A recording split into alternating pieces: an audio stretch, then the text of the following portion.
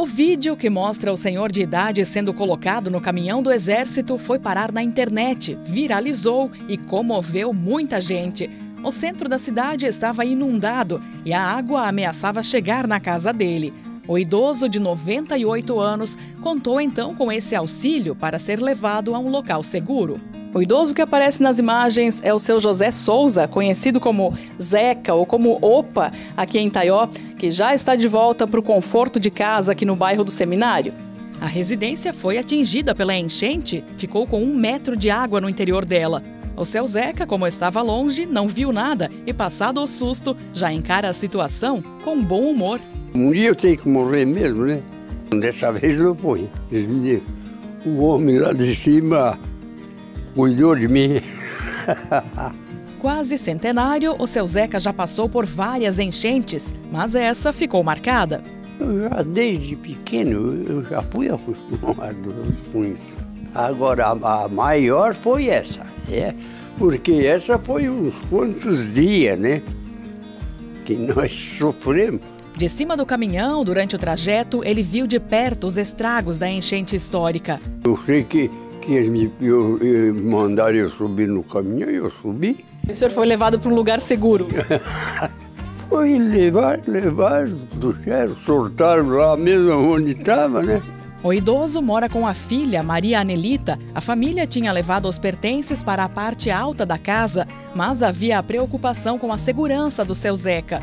Quando o exército chegou para levá-lo até o sítio dos netos, na localidade de Vargem, longe da enchente, todos ficaram bem mais tranquilos. Foi uma emoção muito grande, né? Meu pai, 98 anos, né?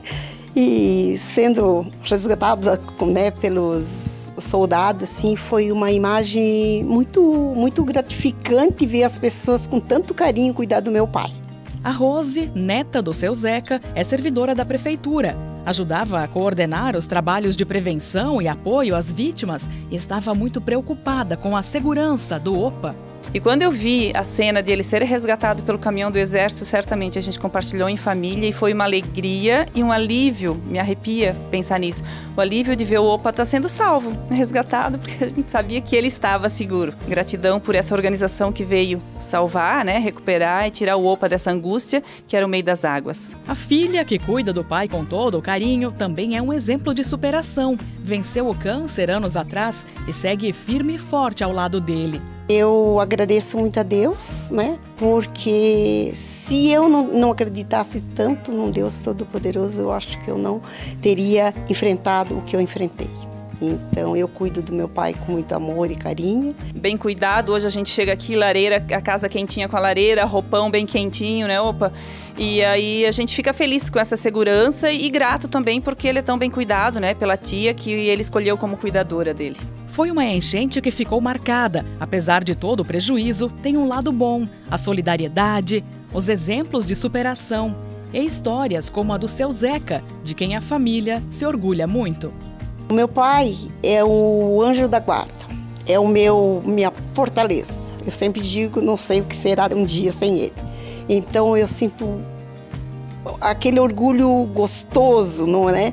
Não tem palavra para dizer o que meu pai é. Um anjo da guarda cuidadoso, amoroso, tudo serve para ele, né? Então não tem explicação que, eu, que o meu pai é para nós. É muito amado por todos.